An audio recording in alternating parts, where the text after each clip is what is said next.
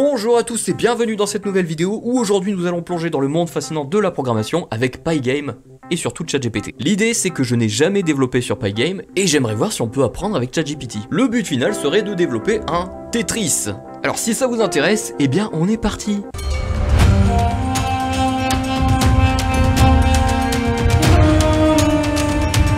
Bon, arrêtez vos conneries maintenant. Je me rends sur le site de Pygame. Nous sommes sur le site officiel de Pygame. Pygame étant une bibliothèque de jeux de développement en Python, il va nous offrir les fonctionnalités pour développer des jeux en Python de manière très rapide. Ça, c'est cool. Maintenant, ce site propose aussi la documentation pour pouvoir comprendre et surtout apprendre Pygame de manière sage et patiente. Et c'est justement ce qu'on ne fera pas.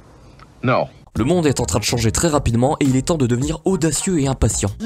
le véritable but de cette expérimentation, c'est de réaliser un Tetris qui fonctionne avec cette technologie sans avoir à l'apprendre. Que le challenge commence. Donc allons-y, on va se renseigner sur comment ça fonctionne avec ChatGPT. Alors la question, ça va être... euh, ça va être quoi la question? C'est une bonne question. Quelle va être la question? Déjà, on va changer parce que j'en ai marre de l'appeler ChatGPT. Louis, on va l'appeler Louis. Bien sûr, vous pouvez m'appeler Louis pour votre vidéo YouTube. Comment puis-je vous aider aujourd'hui? Je voudrais développer un jeu avec Pygame, seulement je n'y connais rien. Alors pourrais-tu Pourrais-tu quoi Pourrais-tu euh, Pourrais-tu commencer Pourrais-tu commencer par m'expliquer? C'est difficile de demander de m'expliquer quelque chose que je ne connais pas encore. Comment euh, comment l'utiliser avec Python ou comment l'installer afin qu'il soit opérationnel? Voilà. Il m'a déjà mis un code pour m'expliquer. On m'explique comment installer Pygame. Donc on y va. Pipe install Pygame. Hop, je l'installe. Donc jusque là, c'est pas compliqué. Ensuite, qu'est-ce qui m'explique? J'ai ensuite droit à un exemple complet pour tester l'exécution d'une fenêtre Windows à l'aide de Pygame. Donc je vais juste recopier le code et tester. Donc je vais faire nouveau fichier example.py et je vais l'éditer dans Studio Code. On y va, je copie l'exemple. Voilà. En faisant l'effort de comprendre, d'abord la librairie Pygame est chargée. Et pour utiliser cette librairie, on initialise l'objet Pygame. À partir de là, on nous explique qu'il y a une création de fenêtre. De ce fait, on va pouvoir générer un affichage à une résolution qu'on stockera dans la variable screen. Et à mon avis, fonction du dessous, ça permettra d'afficher le titre dans la fenêtre. Enfin, logiquement, je pense que c'est ça. Si on regarde en dessous, on voit une boucle running, qui est définie à vrai. Par déduction, je me dis que cette boucle va afficher les éléments du jeu à chaque affichage d'image. Et pour échapper à cette boucle, on peut voir un événement pygame.kit, qui je pense sera le bouton de fermeture de la fenêtre, qui fait que quand on cliquera sur ce bouton, la boucle ne sera plus valide, et on pourra en sortir. Et en sortant de cette boucle, eh bien on passe à l'instruction suivante, qui est pygame.kit, qui logiquement est le fait de fermer complètement le jeu. Testons tout ça. J'ai envie de dire allons-y quoi. Allons-y quoi. Moi je dis allons-y quoi, je dis aux Français allons-y quoi. Python example et on lance. Donc là, il m'a lancé un écran blanc et c'est ce qu'on voulait. hein. On a le titre Mon premier jeu Pygame, ok, on a l'écran blanc qui s'affiche dans la boucle running qui fonctionne. Donc si j'appuie sur quitte ici, ça quitte la boucle et ça ferme le jeu. Voilà, jusque là ça va, c'est pas trop compliqué. Donc si je voulais le mettre en noir, à mon avis, je ferais 0, 0 et 0, la tête à Toto, Hop, et euh, donc si je réactualise et que je relance le jeu, j'aurai un écran noir. Ok, pour moi personnellement, là ça me paraît pas trop compliqué. Bon, maintenant, est-ce que j'ai besoin justement d'apprendre Pygame Si je demande à Louis de me développer un jeu avec Tetris, peut-être qu'il va me le faire et que je vais tout comprendre en fait. Bon, pour ça, je pense qu'on va utiliser ChatGPT 4 parce qu'il est beaucoup plus puissant en termes de raisonnement, et puis on va lui demander. Donc, euh, on va lui demander de réaliser un Tetris. Et puis on avisera. hein. Donc, on y va. Bonjour. Pour la réalisation de la description du Tetris que je voulais, j'ai poussé la chose encore plus loin et j'ai demandé à une autre intelligence artificielle de me réaliser ce prompt. Et j'ai obtenu ceci. Hello, I want to create a Tetris clone using a Pygame. The goal of the game should be to remove all blocks from the board. You can use any number of row columns up to 8 and up to 4 pièces per row column. You may only place one piece on top on another piece. They must be clear paths between every pair of adjacent column. Blocks cannot fall through gaps larger than 2 pixels wide. Be, be proud of you. Ok, on envoie.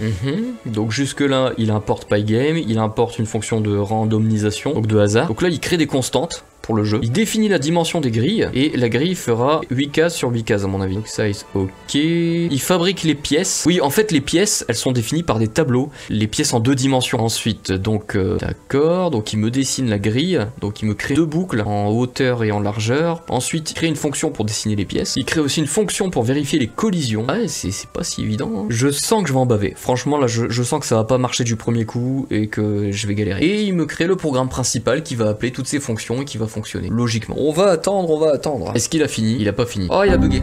Il a bugué. Ah, zut. Oh là là là. Qu'est-ce qu'il me fait? Il me fait du SCSS là. Qu'est-ce qui se passe?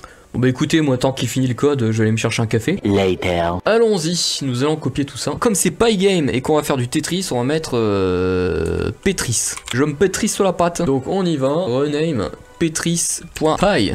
Voilà, voilà mon Pétris. Pétris, Patrice. Euh, ok, donc c'est bon, j'ai tout le code. Le code qui n'est pas terminé et obtenu un bug. Il va falloir que je corrige ce bug. Donc comment je fais ici? Alors, c'est là, c'est là que ça pose problème. Donc là, à mon avis, à mon avis, c'est un plus avec... Ah ouais, mais bon, là, ça aide pas. Hein. Non, c'est là, voilà, c'est là, ok. Sinon, si on fait ça avec... C'est un peu... Regardez, c'est le même pattern. Donc si on appuie sur euh, down, donc on descend, la position augmente de 1 en Y. À mon avis, c'est le bloc qui descend vite et il vérifie à chaque fois une nouvelle collision si c'est possible. Ok ouais donc ça c'est bon. Vous voyez déjà là, quelqu'un qui n'a jamais fait de programmation, s'il voit ça, il est planté. Il est déjà bloqué. Donc ensuite je copie la suite. Hop, je copie la suite. Voilà. Euh, attendez, euh... oh non mais c'est infernal. Ah c'est mal fait là. C'est parce que c'est du Python en fait. Comme les indentations sont importantes, comme là il nous a séparé le code, on est piégé. On ne sait pas si c'était avant ou après. Là je sais pas du tout. Hein. À mon avis c'est dans le while. C'est dans le while peut-être comme ça. Hein. Parce que là on est dans le while et, et peut-être ici. Voilà, on est tout, tout le reste est dans le while et le print il sort du while. À mon avis, c'est ça. Donc je vais faire ça, je vais l'enregistrer. On va le lancer. On lance Pétris. Et voilà, première erreur, ça commence. Line 90, s'il vous plaît. Il dit, il dit, il dit, il dit, il dit indeed block, indeed block after if statement. Ok, bah voilà. voilà. Ah mais non, mais oui, mais attendez, il manque un truc. Oh là là là.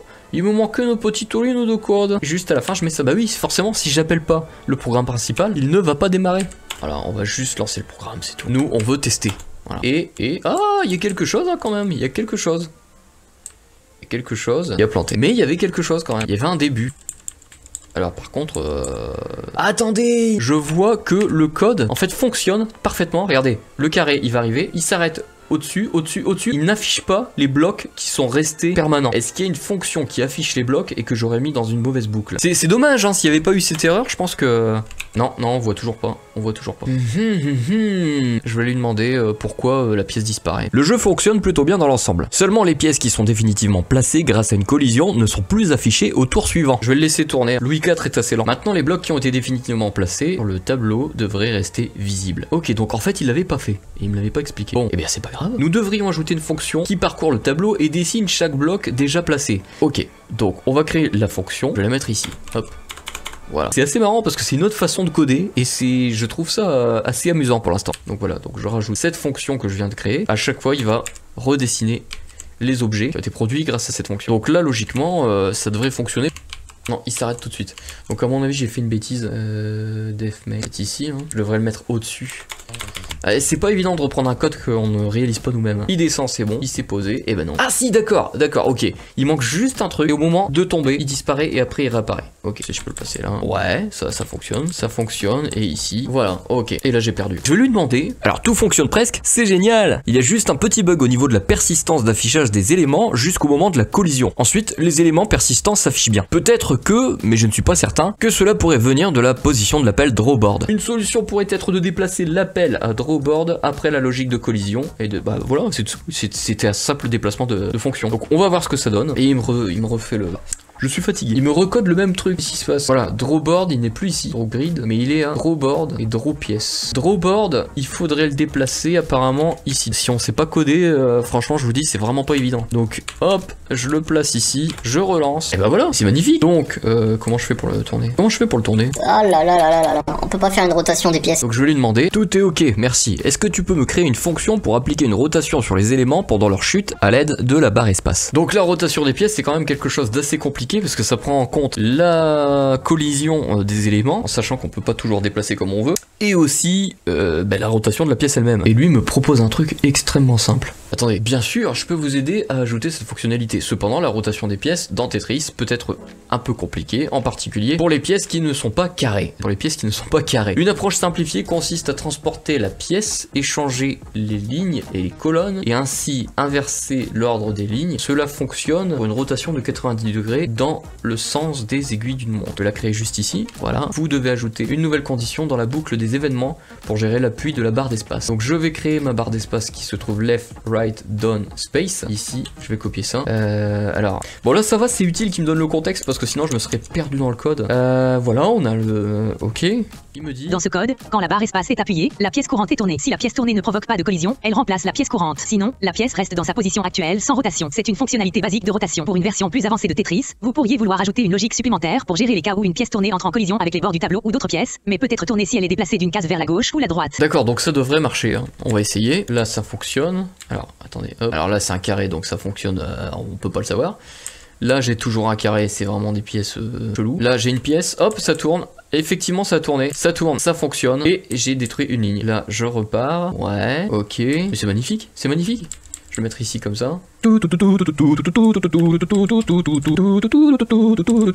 Oulala, oula vache, j'ai perdu, j'ai perdu, j'ai perdu. Eh bien, je crois qu'on a une esquisse d'un d'un Tetris qui fonctionne plutôt bien. Est-ce qu'on peut ajouter, est-ce qu'on peut ajouter des pièces maintenant? Je peux le faire moi-même. Par contre, est-ce que je peux faire euh, un élément de 12 sur 12 et est-ce que ça va fonctionner Ah, ça fonctionne, ça fonctionne. Ah, c'est intéressant. Et là, si j'appuie sur la flèche du bas, ça fait descendre les éléments. Mais c'est vraiment intéressant pour créer des, prototypes. On peut pas faire un truc ultra pointilleux et fini avec ChatGPT. Quoique, si vraiment je recherche à le faire, je peux peut-être le faire.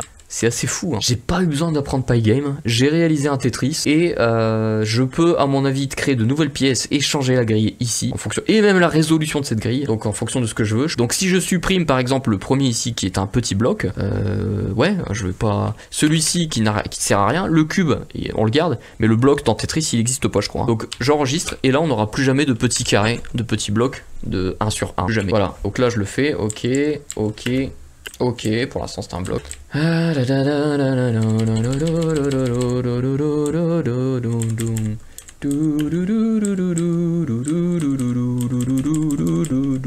Voilà, parfait. Une ligne en moins.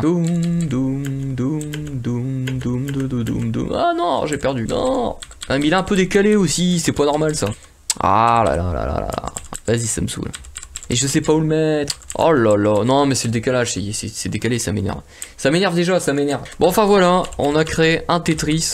J'aurais pu rajouter du score, j'aurais pu rajouter des choses. On peut, on peut créer des choses intéressantes. Et puis je vais continuer à développer mes applications. Et je vous dis, prochaine aventure.